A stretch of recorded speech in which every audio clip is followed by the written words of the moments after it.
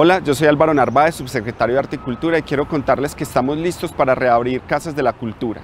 Con todos los protocolos de bioseguridad vamos a ir abriendo paulatinamente varias casas de la cultura. Ahora tenemos abierta la Casa de la Cultura de Popular número 1 y la Casa de la Cultura del Corregimiento de Santa Elena. Los invitamos a que se acerquen, visiten nuestras casas de cultura y empiecen a tener relación con esa programación de manera presencial. De la misma manera vamos a seguir con la programación virtual de algunos de nuestros espacios porque siempre vamos a estar conectados con la ciudadanía generando contenidos porque nos conecta y nos mueve la cultura.